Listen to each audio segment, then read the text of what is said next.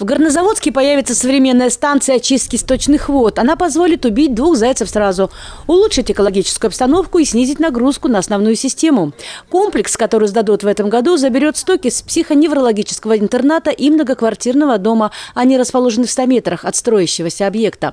Такое соседство позволит снизить количество возможных аварий, а если это произойдет, сократит время ликвидации последствий до ближайшей там э, станции, где она уже попадает в, кан, э, в, кан, ну, в канализацию городскую, здесь где-то порядка километр, километр 200 метров. Ну, то есть вот это все трубы, которые лежат под землей, с учетом сейсмики и все такого прочего, может быть, совершенно любой исход. Поэтому было решено, что как бы максимально приблизить.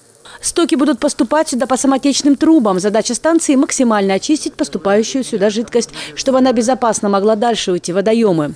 Здесь уже установлено специальное оборудование, которое не оставит отходам ни шанса на существование.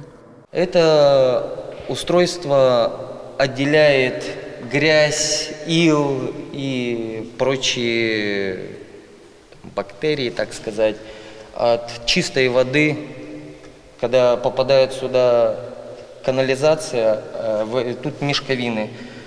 Э, грязь, ил остается в мешковине, чистая вода уходит ну, там, в речку. А вот грязь отправят на съедение специальным бактериям. Таким образом, комплекс обеспечит безотходное производство чистой воды. Система будет перерабатывать в сутки до 60 кубических метров поступаемой жидкости. Снаружи появится насосная канализационная станция и дизельная электроустановка, которая обеспечит комплексу бесперебойное питание. Все работы идут четко по графику. Рабочий день у нас с 8 утра до 7 вечера. Неделя шестидневка, неделя пятидневка. Пилим железо, трубы, отопление, всякий металл. В тех заданий также отмечается, что на территории очистных сооружений заасфальтируют проезды и тротуары, посадят газон, установят скамьи и урны. Все работы по контракту подрядчик должен завершить до 21 ноября текущего года. Вера Рудакова, Полина Булгакова, Владислав Зайцев, телекомпания ОТВ.